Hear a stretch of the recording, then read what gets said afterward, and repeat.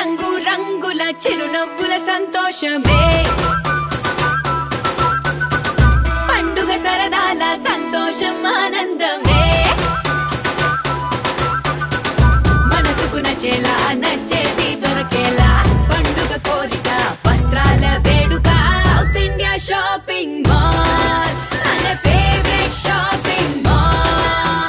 South India shopping మాల్లో అద్భుతమైన wedding collections south India shopping mall GT road Nellore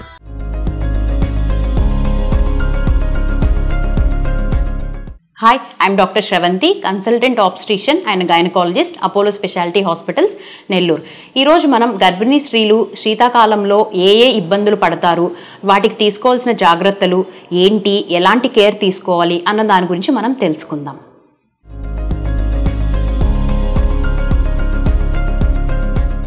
doctor గారు చలికాలంలో గర్భిణీ స్త్రీలు ఎందుకు జాగ్రత్తగా ఉండాలి? దాని ప్రాముఖ్యత ఏమిటి? శీతాకాలంలో అంటే యూజువల్లీ మనకి బాడీ టెంపరేచర్ అనేది తగ్గుతుంది. ఎందుకు అంటే చుట్టూ ఉన్న ఎన్విరాన్మెంట్ టెంపరేచర్ అంటే ఉష్ణోగ్రతలు యూజువల్లీ మనకి తగ్గడం జరుగుతుంది. So when compare to summer మనకి ఈ వింటర్ సీజన్లో ఉష్ణోగ్రతలు అనేవి జనరల్గా తగ్గుతాయి కాబట్టి సో మన బాడీలో టెంపరేచర్ కూడా తగ్గుతుంది. సో కాబట్టి మెటబాలిజం అనేది చేంజెస్ అనేవి జరుగుతాయి బాడీలో సో దానివల్ల మన బాడీలో కానీ అలాగే ప్రెగ్నెంట్ ఉమెన్లో సో ఎస్పెషల్లీ బేబీలో కూడా చేంజెస్ జరగడం అనేవి మనకి జరుగుతుంది. ఇంకోటి శీతాకాలంలో యూజువల్లీ ఇమ్యూనిటీ అనేది కొంచెం తక్కువగా ఉంటుంది. యూజువల్లీ గర్భిణీ స్త్రీలకు జనరల్గానే ఇమ్యూనిటీ అనేది నార్మల్ వాళ్ళతో కంపేర్ చేస్తే తక్కువగా ఉంటుంది. ఈ శీతాకాలంలో ఇంకొంచెం తగ్గడం వల్ల మనకి ఫీవర్ కానీ కోల్డ్ కానీ లేకపోతే కాఫ్ కానీ ఇలాంటి ఇన్ఫెక్షన్స్ ఛాన్సెస్ అనేవి ఎక్కువగా ఉంటాయి. సో ఈ ఇన్ఫెక్షన్స్ వల్ల దీని ప్రభావం గర్భం మీద అలాగే బేబీ మీద కంపల్సరీ ఉంటుంది. సో ఇన్ఫెక్షన్స్ కంట్రోల్ లేకపోయినా లేదంటే ఇన్ఫెక్షన్స్ ఏమైనా సివియర్గా వచ్చినా కూడా మనకి బేబీ ముందుగానే డెలివరీ అయిపోయే ఛాన్సెస్ రావడము అలాగే బేబీ బరువు తక్కువగా పుట్టడము అలాగే బేబీ తక్కువ వెయిట్తో పుట్టి ఎన్ఐసియు అడ్మిషన్స్ అంటే బాక్స్లో పెట్టాల్సిన అవసరం రావడము ఇలాంటివన్నీ ఉంటాయి. అలాగే మరీ ఎక్స్ట్రీమ్ ఉష్ణోగ్రతలు అంటే ఎక్స్ట్రీమ్ టెంపరేచర్స్కి కానీ మనం ఎక్స్పోజ్ అయ్యాము అని అంటే అప్పుడు మనకి ముందుగానే డెలివరీ అయిపోయే ఛాన్సెస్ అనేవి మనకి చూస్తుంటాము. ఇంకొకటి ఎక్కువగా ఏంటి అంటే ఈ కాలంలో మనకి బీపీ అనేది ఎక్కువగా కనిపించడం జరుగుతుంది. ఎస్పెషల్లీ ప్రెగ్నెంట్ వాళ్ళల్లో ఆల్రెడీ బీపీ ఉన్న వాళ్ళకి కొంచెం ఎక్కువ బీపీ రికార్డింగ్స్ అనేవి మనం చూడడము. అలాగే బీపీ లేని వాళ్ళకి ఈ సీజన్స్లో శీతాకాలంలో ఎస్పెషల్లీ రక్తనాళాలు కొంచెం ముడుచుకోవడం వల్ల మనకి బీపీ అనేది పెరుగుతుంటుంది. సో అలాంటప్పుడు మనం కరెక్ట్గా బీపీ టాబ్లెట్స్ అన్ని వేసుకుంటున్నామా లేదా డాక్టర్ గారితో చెకప్లో ఉన్నామా లేదా అన్నది మనం చూసుకోవాల్సి వస్తుంది. సో కాబట్టి శీతాకాలంలో మనకి వచ్చే ప్రాబ్లమ్స్ అనేవి ఉన్నాయి. దానికి తగ్గట్టు మనం జాగ్రత్తలు మనం తీసుకోవాల్సిన అవసరం తప్పకుండా ఉంది. డాక్టర్ గారు గర్భిణీ స్త్రీలకు చలికాలంలో వచ్చే ఇబ్బందులు మరియు వ్యాధులు ఏమిటి? యూజువల్లీ శీతాకాలంలో అంటే మనకి ప్రెగ్నెంట్ వాళ్ళకనే కాకుండా నార్మల్ వాళ్ళకి కూడా యూజువల్లీ ఇన్ఫెక్షన్స్ అనేవి కామన్గా అనేవి జరుగుతూ ఉంటాయి వస్తూ ఉంటాయి. సో ఎలాంటి ఇన్ఫెక్షన్స్ రావచ్చు అంటే మెయిన్గా ఊపిరితిత్తులకు సంబంధించిన ఇన్ఫెక్షన్స్ అనేవి రావచ్చు. సో గర్భిణీ స్త్రీలలో నేను చెప్పినట్టు ఇమ్యూనిటీ అనేది రోగ నిరోధక శక్తి అనేది తక్కువగా ఉండడం వల్ల సో దగ్గు కానీ జలుబు కానీ జ్వరం రావడం కానీ ఇవి చాలా ఫ్రీక్వెంట్గా చూస్తుంటాము. అలాగే ఆల్రెడీ ఆస్మా ఉన్నా కూడా ఆ ఆస్మాటిక్ అటాక్స్ అనేవి ఈ శీతాకాలంలో ఎక్కువగా మనం చూస్తుంటాం. సో గర్భిణీ స్త్రీలకు ఆస్మాటిక్ ఆల్రెడీ ఉంది అనుకుంటే ఇప్పుడు ప్రెగ్నెన్సీలో శీతాకాలంలో ఆస్మాటిక్ అక్వెన్స్ ఫ్రీ ఫ్రీక్వెంట్గా రావడము పిల్లి కూతలు రావడము ఇలాంటివి అనేది మనం గమనిస్తూ ఉంటాం. అలాగే అలర్జిక్ రైనైటిస్ అని అంటారు. అంటే ఫ్రీక్వెంట్గా తుమ్ములు రావడం అంటే చలికాలం వస్తేనే ఏదైనా డస్ట్ అలర్జీస్ అనేవి ఎక్కువగా చూడడము ఎక్కువగా మనకి ఫ్రీక్వెంట్గా సిమ్టమ్స్ రావడం అనేది మనం ఈ కాలంలో ఈ కాలంలో మనం చూస్తుంటాము ఇంకొకటి మెయిన్గా ఈ శీతాకాలంలో టెంపరేచర్ తగ్గడం వల్ల మనకి మెయిన్గా స్కిన్ ప్రాబ్లమ్స్ అనేవి మనకు చూస్తూ ఉంటాం. ఈ టెంపరేచర్ తగ్గడం వల్ల స్కిన్ డ్రైనెస్ అనేది మనం చూస్తుంటాము. ఆ స్కిన్ డ్రైనెస్ వల్ల కొంచెం ఇచ్చింగ్ రావడం లేకపోతే ర్యాషెస్ రావడం లేకపోతే ఎక్కువగా దురద ఉండడం వల్ల దానివల్ల మనకి ఎగ్జిమా అని అంటారు. ఇలాంటి ప్రాబ్లమ్స్ రావడం అనేవి మనం చూస్తుంటాము. ఈ శీతాకాలంలో ఎక్కువగా మనం కొంచెం బయటికి వెళ్ళడము అలాంటి తక్కువగా చేస్తాం కాబట్టి సన్లైట్ ఎక్స్పోజర్ తక్కువగా ఉంటుంది కాబట్టి విటమిన్ డి డెఫిషియన్సీ అంటే విటమిన్ డి లోపంతో సంబంధించిన ప్రాబ్లమ్స్ అనేవి మనం చూడొచ్చు ప్రెగ్నెన్సీలో అలాగే ఈ శీతాకాలంలో యూజువల్లీ మనకేంటంటే చెమట తక్కువగా పోయడము సో దానివల్ల దాహం తక్కువగా ఉంటుంది. కాబట్టి మనం eh, యూజువల్గానే తక్కువగా తీసుకుంటాము వాటర్ అనేవి. డీహైడ్రేషన్కి సంబంధించిన సమస్యలు రావచ్చు. ఈ డీహైడ్రేషన్ వల్ల యూరినరీ ఇన్ఫెక్షన్స్ ఇలాంటి ప్రాబ్లమ్స్ అనేవి మనం చూస్తుంటాము. శీతాకాలంలో తేమ వల్ల వచ్చే ప్రాబ్లమ్స్ అనేవి ఎక్కువగా ఉంటాయి. దీన్ని వెజనల్ ఇన్ఫెక్షన్స్ అలాగే అండర్ ఆర్మ్స్ ఇన్ఫెక్షన్స్ కానీ ఇలాంటివి మనం చూస్తూ ఉంటాము. శీతాకాలంలో ఆల్రెడీ మీకు చెప్పినట్టు బీపీ అనేది ఎక్కువగా చూస్తుంటాము. ఆల్రెడీ ప్రెగ్నెంట్ వాళ్ళు బీపీ బీపీకి టాబ్లెట్స్ వాడుతున్నా కూడా ఈ శీతాకాలంలో బీపీ ఎక్కువగా రావడము. సో um, ఎలాంటి ట్రీట్మెంట్ డోస్ పెంచుకోవాల్సిన అవసరం రావడము. ఈ బీపీ వల్ల అంటే బేబీకి ఉమ్మనీరు తగ్గిపోవడము బేబీ వెయిట్ తక్కువగా పుట్టడము ముందుగానే డెలివరీ అయిపోయే ఛాన్సెస్ రావడము. మరీ ఎక్కువగా బీపీ కంట్రోల్లో లేనప్పుడు మనకి ఎక్లాంషియా అనేది అంటే ఫిట్స్ అనేవి రావడము. అప్పుడు మదర్కి కానీ బేబీకి కానీ సో ప్రాణానికి కూడా ప్రమాదం ఉండే అవకాశం ఉంటుంది. సో బీపీ అనేది మనం కొంచెం కంట్రోల్లో పెట్టుకోవాలి. ముందు బీపీ లేని వాళ్ళకు కూడా ఈ శీతాకాలంలో బీపీ రావడానికి ఎక్కువగా అవకాశం ఉంటుంది. ఎందుకు అంటే ఈ లో టెంపరేచర్స్ వల్ల మనకి రక్తనాళాలు వాసో కన్స్ట్రిక్షన్ అంటారు. అంటే వ్యాసోస్పాజం జరగడం వల్ల బీపీ అనేది మనకి ఎలా అంటే రైజ్ అవుతుంటుంది. సో అదొకటి మనం జాగ్రత్తగా చూసుకోవాల్సిన అవసరం కంపల్సరీ ఉంటుంది. ఇంకో విషయం ఏంటంటే యూజువల్లీ మనకి తేమ వల్ల మన మెట్లు కానీ మనం నడిచే దారులు కానీ కొంచెం మాయిశ్చర్తో నిండిపోతాయి కాబట్టి అంటే స్టెప్స్ దిగేటప్పుడు కానీ స్టెప్స్ ఎక్కేటప్పుడు కానీ గర్భిణీ స్త్రీలు చాలా జాగ్రత్తగా ఉండాలి. బికాస్ ఎందుకు అని అంటే అలాంటివి ఎప్పుడైనా జారినప్పుడు వాళ్ళు ఒకవేళ పడే అవకాశం ఉంటుంది. సో పడినప్పుడు బేబీకి కానీ మదర్కి కానీ హామ్ అనేది జరిగేది మనకి ఉంటుంది. ఇంకోటి ప్రీటర్మ్ లేబర్ అంటారు. అంటే ముందుగానే డెలివరీ అయిపోయే ఛాన్సెస్. సో ఈ టెంపరేచర్స్కి తక్కువ ఉన్న టెంపరేచర్స్కి బీపీ పెరగడం వల్ల కానీ లేదంటే ఎక్స్ట్రీమ్ టెంపరేచర్స్కి మనం ఎక్స్పోజ్ అయినప్పుడు సో తొందరగా డెలివరీ అయిపోయే ఛాన్సెస్ అనేవి మనం చూడొచ్చు. కాబట్టి మనం జాగ్రత్తగా లో టెంపరేచర్స్కి ఎక్స్పోజ్ అవ్వకుండా ఉండాల్సిన అవసరం అయితే చాలా ఉంటుంది. ఒబీసిటీ అంటారు ఊబకాయం. ఈ కాలంలో యూజువల్లీ మనకి టెంపరేచర్లో టెంపరేచర్స్ వల్ల మెటబాలిజం అనేది చాలా తక్కువగా ఉంటుంది. సో కాబట్టి క్యాలరీ బర్నింగ్ అనేది కూడా చాలా తక్కువగా ఉంటుంది. అండ్ దెన్ ఈ ఈ టైంలో మనం ఎక్కువగా సెడెంటరీ లైఫ్ స్టైల్ అంటే బయటకి లేచి తిరగడం కానీ ఏదైనా ఫిజికల్ యాక్టివిటీ చేయడం కానీ చాలా తక్కువగా చేస్తాం కాబట్టి. And then we like to eat during this season అంటే ఈ సీజన్లో కూర్చొని ఎక్కువ తింటాము. అండ్ దెన్ ఫిజికల్ యాక్టివిటీ అనేది చాలా తక్కువగా చేస్తాం కాబట్టి. ప్రెగ్నెంట్ వాళ్ళకి నార్మల్ సమ్మర్ సీజన్లో కంటే కూడా శీతాకాలంలో యూజువల్లీ వెయిట్ గెయిన్ అనేది ఎక్కువగా ఉంటుంది. ఈ వెయిట్ గెయిన్ వల్ల మరీ ఎక్కువగా వెయిట్ గెయిన్ ఉంది అంటే కొంచెం షుగర్ వచ్చే ఛాన్సెస్ కానీ లేదంటే బీపీ ఎక్కువగా ఆల్రెడీ చెప్పినట్టు బీపీ ఎక్కువగా ఉండే ఛాన్సెస్ కానీ మనం చూడొచ్చు. డాక్టర్ గారు గర్భిణీ స్త్రీలు ఎలాంటి ముందు జాగ్రత్తలు మరియు నియమాలు పాటించాలి?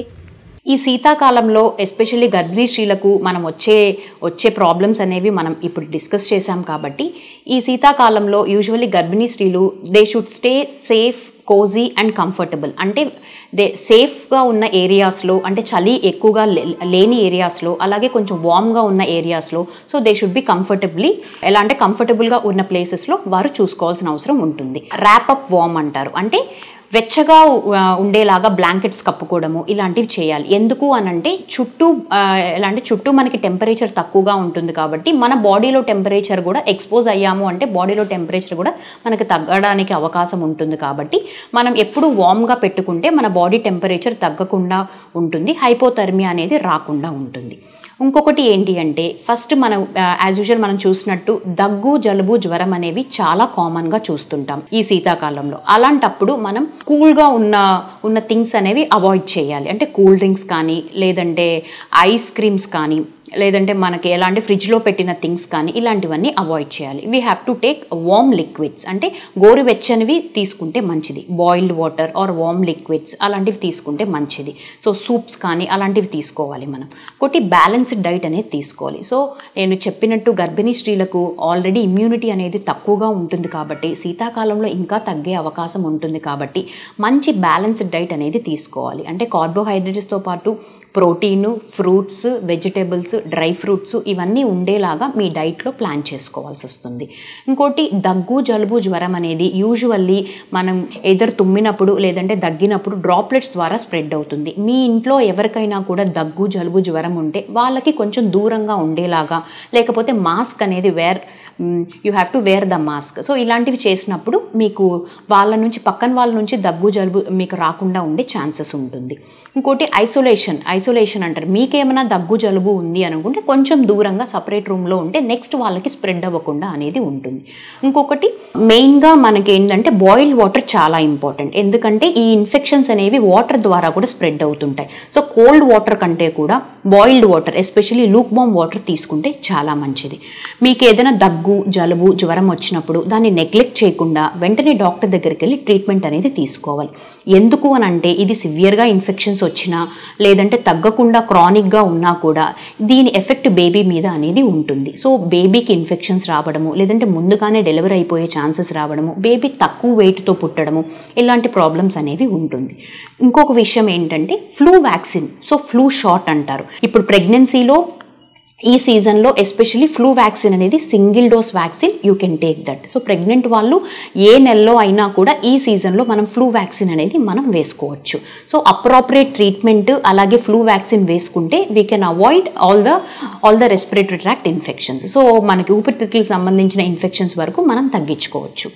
ఆస్తమా ఉన్న వాళ్ళు ఎటువంటి జాగ్రత్తలు తీసుకోవాలి. సో ఆల్రెడీ ఆస్తమా ఉంది అని అంటే ఇప్పుడు కొంచెము జాగ్రత్తగా మనం ఊపిరితిత్తులకు సంబంధించిన డాక్టర్ దగ్గర ఫాలోఅప్లో ఉండాలి. ఎందుకంటే శీతాకాలంలో ఆస్థమాటిక్ అటాక్స్ అనేవి ఎక్కువగా రావచ్చు. అంటే పిల్లి కూతలు రావడము ఆయాసం రావడము దగ్గు రావడము. ఎందుకంటే లో టెంపరేచర్స్కి మనం ఎక్స్పోజ్ అయినప్పుడు ఊపిరితిత్తుల్లో ఉన్న- ఉన్న మజిల్స్ అనేవి కన్స్ట్రిక్ట్ అవుతాయి. సో బ్రాంకో కన్స్ట్రిక్షన్ అంటారు. సో దీనివల్ల మనకి ఆస్తమా రావడానికి ఎక్కువగా అవకాశం ఉంటుంది. అలాంటి వాళ్ళు వాళ్ళు కంపల్సరీగా రోటా హ్యాలర్ యూస్ అనేది చేయాలి. రోటా హ్యాలర్ ప్రెగ్నెన్సీలో యూస్ చేయొచ్చా చేయకూడదా అలాంటి సందేహాలు ఏమొద్దు మీరు రెగ్యులర్గా పల్మనాలజిస్ట్ దగ్గర కన్సల్టేషన్లో ఉండాలి. అలర్జిక్ రైనిటిస్ అంటే నెమ్ము అంటే ఫ్రీక్వెంట్గా డస్ట్ అలర్జీ ఉన్న వాళ్ళు యూజువల్లీ వాళ్ళు ఏంటి అంటే తేమ తేమగా ఉన్న ప్రదేశాలు అవాయిడ్ చేయాల్సి వస్తుంది. డస్ట్ ఎక్స్పోజర్ లేకుండా మీరు చేసుకోవాల్సి వస్తుంది. ఇది చాలా important vitamin D supplementation so ఇప్పుడు సన్లైట్ ఎక్స్పోజర్ అనేది ఉండదు. దట్టు మనం ఇండోర్లోనే ఉంటాం. సో బయటకి వెళ్ళడం సో చలికాలము వర్షాకాలం కాబట్టి బయటకు వెళ్ళడము మనం సన్కి ఎక్స్పోజ్ అవ్వడం ఇదంతా ఉండదు కాబట్టి మనకి విటమిన్ డి లోపం వచ్చే ఛాన్సెస్ ఉంటుంది. ఇలాంటప్పుడు మనం విటమిన్ డి సప్లిమెంటేషన్ అనేది తీసుకోవాల్సిన అవసరం తప్పకుండా ఉంటుంది. ఎందుకు అనంటే vitamin D it is very important for immunity so immunity తగ్గకుండా మనం విటమిన్ డి అనేది బోన్స్ కూడా స్ట్రెంగ్ కూడా చాలా ఇంపార్టెంట్ ఇంకోటి వెజనల్ ఇన్ఫెక్షన్స్ సో తేమ మాయిశ్చర్ వల్ల సో వెజనల్ ఇన్ఫెక్షన్స్ కానీ అండ్రామ్స్ ఇన్ఫెక్షన్స్ కానీ ఈ సమ్మర్ కంటే కూడా వింటర్ సీజన్లో ఎక్కువగా రావడానికి అవకాశం ఉంటుంది. సో తేమ వల్ల there will be more chance of fungal infections especially candid infections ఇలాంటివన్నీ ఉంటుంది. సో అందుకని మనం ఎక్కువ మాయిశ్చర్ లేకుండా కూడా మనం ఎట్లంటే హైజీన్ అనేది మెయింటైన్ చేయాల్సిన అవసరం తప్పకుండా ఉంటుంది. And iron and calcium supplementation every pregnant women మనం ప్రెగ్నెన్సీలో ఐరన్ కాల్షియం అనేది ఫోర్త్ మంత్ నుంచి కంపల్సరీ వాడుతాము. ఎందుకు అంటే రక్తం తక్కువ ఉన్నప్పుడు ఇన్ఫెక్షన్స్ రావడానికి ఎక్కువ ఛాన్సెస్ ఉంటాయి. సో ఆల్రెడీ మనకి ప్రెగ్నెన్సీలో ఇమ్యూనిటీ తగ్గడం వల్ల ఎస్పెషలీ శీతాకాలంలో ఇమ్యూనిటీ తక్కువగా ఉంటుంది కాబట్టి మనం రక్తం తగ్గకుండా కరెక్ట్గా iron and then calcium supplementation చాలా ఇంపార్టెంట్ ప్రోటీన్ డైట్ అనేది ఇంపార్టెంట్ సాల్ట్ రెస్ట్రిక్షన్ అనేది చాలా ఇంపార్టెంట్ ఇది మన భారతీయ సాంప్రదాయానికి సాదృశ్యం. ఇది మన చేనేత చెరకుతో చేసే అద్భుత ఆవిష్కరణ.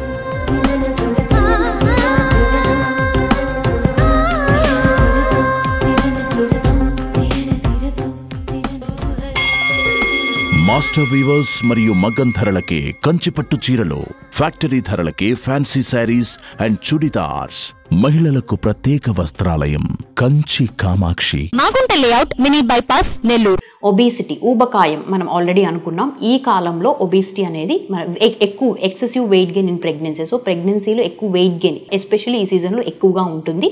అలాంటప్పుడు we have to stay physically active so ఫిజికల్గా యాక్టివ్గా ఉండాలి. ఇండోర్లోనే ఉండకుండా అవుట్డోర్ యాక్టివిటీస్ని మనం ప్లాన్ చేసుకోవాలి. ఎయిదర్ వాకింగ్ కానీ లేదంటే యోగా కానీ లెస్ లైక్ స్మాల్ యాక్టివిటీస్ కానీ మనం ఇలాంటివి ప్లాన్ ప్లాన్ చేసుకోవాల్సిన అవసరం తప్పకుండా ఉంటుంది.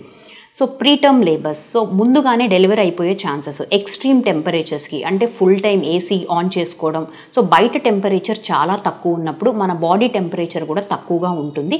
సో అలాంటప్పుడు మనకి ముందుగానే ఎలా అంటే డెలివరీ అయిపోయే మనకి రిస్క్ కూడా ఉంటుంది కాబట్టి we have to stay we have to stay warm so అందుకే చెప్తారు వార్మ్ కండిషన్స్లోనే ఉండాలి pregnant women especially and then చలిగాలికి వెళ్ళడము అలిగాలి చలిగాలికి ఎక్స్పోజ్ అవ్వడము ఇలాంటివన్నీ కంప్లీట్గా మనం అవాయిడ్ చేయాల్సిన అవసరం తప్పకుండా ఉంటుంది.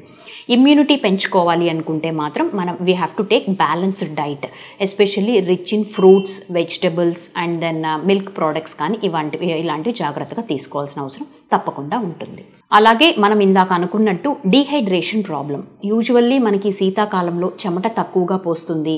సో కాబట్టి మెటబాలిజం తక్కువగా ఉంటుంది కాబట్టి నీళ్ళ దాహం అనేది చాలా తక్కువగా ఉంటుంది కాబట్టి మనం జనరల్గానే తక్కువ వాటర్ అనేది తీసుకుంటాం ఇంటేక్ అనేది. సో వాటర్ తక్కువ తీసుకోవడం వల్ల మన బాడీలోంచి వేస్ట్ ఎక్స్క్రీట్ అవ్వడం అనేది చాలా తగ్గుతుంది. సో యూరిన్ ద్వారా ఎక్స్క్రీట్ అయ్యే వేస్ట్ అని సో మనకి బాగా తగ్గుతుంది. సో స్వెట్ కూడా స్వెట్ కూడా తక్కువగా పోస్తుంది కాబట్టి ఎక్స్క్రీట్ అయ్యే అదంతా కూడా తగ్గుతుంది. సో కాబట్టి యూరిన్ ఇన్ఫెక్షన్స్ వచ్చే ఛాన్సెస్ ఉంటుంది. ఇలాంటప్పుడు మనం ఏం జాగ్రత్త తీసుకోవాలి అనుకుంటే warm water that boiled water తీసుకుంటే ఫస్ట్ థింగ్ చాలా మంచిది. దట్టు మనం ఎలా అంటే డ్రింకింగ్ యాప్స్ అనేవి ఈ రోజులో మనం చాలా చూస్తున్నాం. సో ఎలా అంటే రిమైండర్స్ లాగా పెట్టుకొని ఎవ్రీ అవర్కి లేదంటే ఎవ్రీ టూ అవర్స్కి ఒకసారి డ్రింకింగ్ మనం తాగాలి అన్నట్టు మనం గుర్తుపెట్టుకుంటూ చేసుకుంటున్నాం. అలాంటి డ్రింకింగ్ యాప్స్ మనం డౌన్లోడ్ చేసుకొని మనం కరెక్ట్గా మినిమం ఒక త్రీ లీటర్స్ పర్ డే ఉండేలాగా మన ఎలా అంటే మన డైట్లో మనం ప్లాన్ చేసుకోవాల్సిన అవసరం తప్పకుండా ఉంటుంది. ఈ డీహైడ్రేషన్ ప్రాబ్లమ్స్ వల్ల ఏమవుతుందంటే బేబీ చుట్టూ ఉన్న లైకర్ ఉమ్మ నీరు అనేది తగ్గిపోయే ప్రమాదం కూడా ఉంటుంది. అలాగే urinary infections urinary tract infections అనేవి మనకు రావడం జరుగుతుంది. సో మనం అడిక్వేట్ వాటర్ ఇంటేక్ తీసుకున్నామంటే మనకి ఇలాంటి ప్రాబ్లమ్స్ లేకుండా ఉంటుంది. One more thing is fall during pregnancy ఈ ఈ శీతాకాలంలో ఎక్కడ చూసినా తేమ ఉంటుంది కాబట్టి మనం ఎలాంటి ఎలా అంటే మన నడిచే ప్రాంతాల్లో కొంచెం తేమగా ఉండడం లేదంటే స్లిప్పరీగా ఉండడం ఇలాంటివి చూస్తుంటాం. సో యూజువల్లీ ప్రెగ్నెంట్ ఉమెన్ వాళ్ళు ఈ శీతాకాలంలో అంటే మెట్లు ఎక్కడం దిగడము అలాగే స్లిప్పరీ సర్ఫేసెస్లో నడవడం అనేది మీరు బెటర్ అవాయిడ్ చేస్తే మంచిది. ఒకవేళ అలా అలా ఏమన్నా జారి పడ్డారు అని అనుకుంటే మాత్రం సో బేబీకి ఏదైనా హామ్ జరగచ్చు అలాగే మదర్కి కూడా ఇంజురీస్ అనేవి జరగచ్చు. ఒకవేళ పడ్డారు అని అనుకుంటే మాకేం కాలేదు కదా అని చెప్పి నెగ్లెక్ట్ చేయకుండా వెంటనే డాక్టర్ గారిని కలిసి ఒకసారి స్కాన్ తీసుకోవడం చాలా చాలా ఉత్తమం. ఇలాంటిది మీ ఇలాంటి జాగ్రత్త చిన్న చిన్న జాగ్రత్తలే బట్ మనం మనం జాగ్రత్తగా పాటించాల్సిన అవసరం తప్పకుండా ఉంటుంది. డాక్టర్ గారు చలికాలంలో గర్భిణీ స్త్రీలు ఎలాంటి ఆహార పదార్థాలు తీసుకోవాలి మరియు తీసుకోకూడనివి ఏమిటి? శీతాకాలంలో గర్భిణీ స్త్రీలు ఎస్పెషల్లీ ఎందుకు ఆహారం మీద ముఖ్యంగా శ్రద్ధ చూపించాలి అంటే మనకి మనం అనుకున్నట్టు గర్భిణీ స్త్రీలలో ఇమ్యూనిటీ అనేది తగ్గుతుంది. శీతాకాలంలో ఇంకా కొంచెం ఎక్కువగా తగ్గే అవకాశం ఉంటుంది. కాబట్టి మనం డైట్ అనేది ప్లాన్ చేసుకుంటే we can improve the immunity ఎలా ఎలాంటి డైట్ తీసుకోవాలి? ఎలాంటివి తీసుకోకూడదు. ఎలాంటివి తీసుకోవాలి అనుకుంటే మన డైట్లో బ్యాలెన్స్డ్ డైట్ అంటారు. అంటే అన్ని పోషక ఆహారాలు న్యూట్రిషన్ ఉండేలాగా మనం డైట్ ప్లాన్ చేసుకుంటే దాన్ని బ్యాలెన్స్డ్ డైట్ అని అంటారు. అంటే ప్రోటీన్ ఫుడ్ ఉండాలి అలాగే ఫ్యాట్స్ ఉండాలి అలాగే కార్బోహైడ్రేట్స్ ఉండాలి ఫ్రూట్స్ అండ్ వెజిటబుల్స్ అనేవి ఉండాలి. సో మెయిన్గా ఇలాంటి చిరుధాన్యాలు అంటారు. అంటే సిరల్స్ అండ్ గ్రెయిన్స్. అలాంటివి కంపల్సరీ మనం ఎలా అంటే మనం డైట్లో మనం ఉంచుకోవాలి. అలాగే ఫ్రూట్స్ అండ్ వెజిటేబుల్స్. పండ్లు కూరగాయలు ఫ్రెష్గా ఉన్నవి మీరు తీసుకొని మీ డైట్లో మీరు ప్లాన్ చేసుకోవాల్సిన అవసరం తప్పకుండా ఉంటుంది. అలాగే మిల్క్ ప్రోడక్ట్స్ అంటే పాలు అలాగే పాలకి సంబంధించిన పదార్థాలు అంటే పనీర్ కానీ లేకపోతే పెరుగు కానీ ఇలాంటివి తీసుకోవడం అనేది చాలా ఉత్తమం. వీటిలన్నిటి వల్ల మనకి ప్రోటీన్ ఫుడ్ అనేది ఉంటుంది. So egg especially egg. అంటే మనకి ప్రెగ్నెంట్ వాళ్ళు కంపల్సరీ డైలీ వన్ ఎగ్ అలాగే మిల్క్ ప్రోడక్ట్స్ అనేది చాలా ఇంపార్టెంట్. ఎందుకంటే ఇది protein food. It will improve the immunity and then calcium కూడా మనకి సప్లిమెంటేషన్ పెరుగుతుంది కాబట్టి. ఎలాంటివి తినకూడదు. అంటే ఆల్రెడీ లెఫ్ట్ ఓవర్ ఫుడ్స్ అంటారు. అంటే ఎలా అంటే నిన్న చేసినవి ఫ్రిడ్జ్లో పెట్టుకొని ఈ రోజు తినడము లేదంటే ప్రాసెస్డ్ ఫుడ్స్ అంటారు. అంటే చాలా రోజుల నుంచి స్టోర్ చేసుకొని అలాంటివి తినడము అలాంటివి కూల్ కూల్ థింగ్స్ అని అంటారు. It's better to avoid cool things. అంటే కూల్ డ్రింక్స్ కానీ ఐస్ క్రీమ్స్ కానీ అంటే చల్లటి పదార్థాలు ఫ్రిడ్జ్లో పెట్టుకొని తీసుకోవడం వల్ల దెర్ విల్ బి ఎట్లా అంటే ఇన్ఫెక్షన్స్ అనేవి ఎక్కువ ఛాన్సెస్ అనేవి మనకి ఉంటుంది. Warm liquids and then warm foods తీసుకుంటే మనకి బెటర్గా ఉంటుంది. ఇంకొకటి మెయిన్గా ఏంటంటే ఆయిలీ ఫుడ్స్ అనేవి ఈ టైంలో మనకి ఎక్కువగా తినాలనిపిస్తాయి. ఎస్పెషల్లీ కారంగా ఆయిలీగా తిందాము అన్నట్లు మనకి ఫీలింగ్ ఉంటుంది శీతాకాలంలో. సో దట్టు ప్రెగ్నెంట్ ఉమెన్లో క్రేవింగ్స్ ఉంటాయి కాబట్టి అలా అలా మనకి తినాలనిపిస్తుంది. But better to avoid all the spicy and then oily foods. Oily food spicy foods వల్ల మనకి గ్యాస్ట్రైటిస్ వచ్చే ప్రమాదం ఉంటుంది. అలాంటివన్నీ మనం తగ్గించుకోవాల్సి వస్తుంది. నేను ఆల్రెడీ చెప్పినట్టు three to four litres intake of water అనేది చాలా ఇంపార్టెంట్ అట్లీస్ట్ ఒక త్రీ లీటర్స్ అన్నా కూడా మీరు కావాలంటే డ్రింకింగ్ యాప్ పెట్టుకొని మీరు మెజర్ చేసుకుంటూ మీరు ఎలా అంటే తాగొచ్చు. ఇంకొకటి ఏంటంటే మనకి milk milk supplementation is very important so two times milk with milk powder తీసుకుంటే మనకి చాలా చాలా మంచిది. It will improve the immunity and then baby growth కూడా మనకి హెల్ప్ అవుతుంది. డాక్టర్ గారు చలికాలంలో పాటించవలసిన పరిశుభ్రతలు ఏమిటి? ఈ శీతాకాలంలో ఎస్పెషల్లీ మనము ఏంటంటే ప్రెగ్నెంట్ ఉమెన్ వాళ్ళకి ఇన్ఫెక్షన్స్ వచ్చే ఛాన్సెస్ ఉంటుంది కాబట్టి మనము పరిశుభ్రత అనేది చాలా ఇంపార్టెంట్. అంటే పర్సనల్ హైజీన్ అంటారు. ఏ ఏ విధంగా మనం హైజీన్ మెయింటైన్ చేయాల్సింది? The first and foremost step is wash your hands properly. So మనం ఎప్పుడైనా బయట నుంచి ఇంట్లోకి వచ్చినా కూడా మనం ఏ ఏదైనా ఫుడ్ పట్టుకునేటప్పుడు కూడా మనం ఏంటంటే we have to wash wash our hands very properly ఇది చాలా ఇంపార్టెంట్ అండి. సో ఎందుకంటే germs are everywhere that to ఈ ఈ మాయిశ్చర్లో ఈ జర్మ్స్ స్ప్రెడ్ అనేది ఇన్ఫెక్షన్ స్ప్రెడ్ అనేది చాలా ఎక్కువగా ఉంటుంది.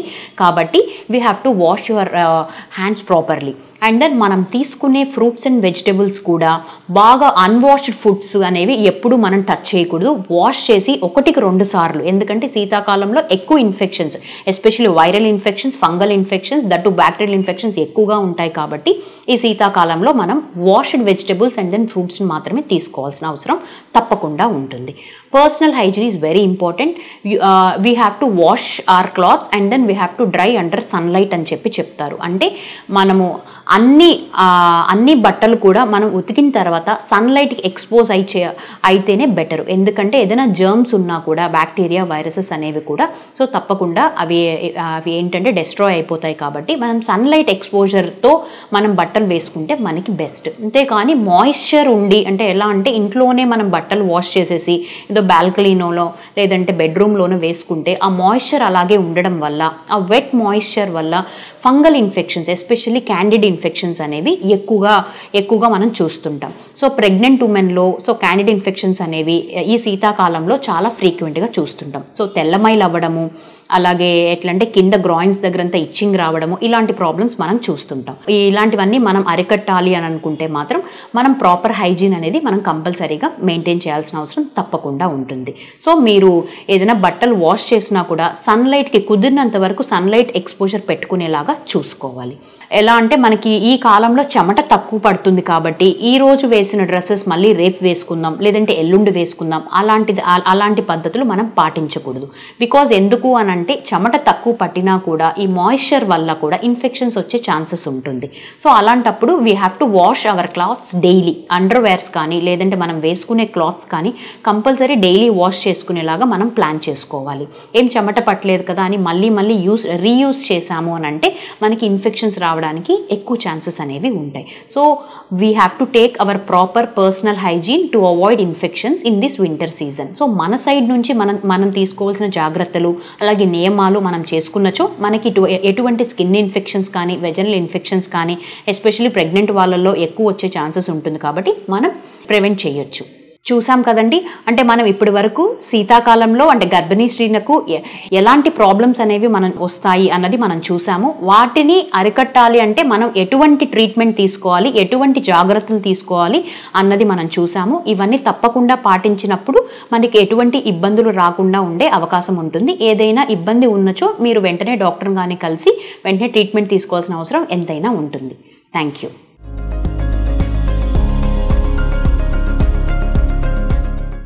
పండగ సీజన్ వచ్చేసిందే. ఆర్ఎస్ బ్రదర్స్ డే వెళ్దామా? ఆర్ఎస్ బ్రదర్స్లో వివాహ మరియు పండగ వేడుకలు పెళ్ళి చూపుల నుండి మాంగళ్య ధారణ వరకు కావలసిన కంచి పట్టు చీరలు కంచి సొసైటీ ధరలకే అమ్మకం. లేడీస్ వేర్ మెన్స్ వేర్ మరియు కిడ్స్ వేర్లో సరికొత్త పండగ కలెక్షన్. సంప్రదాయమైన పెళ్ళి పట్టు చీరలకు నైన్ వన్ సిక్స్ బంగారు ఆభరణాలకు RS Brothers textiles and jewellery Nellore.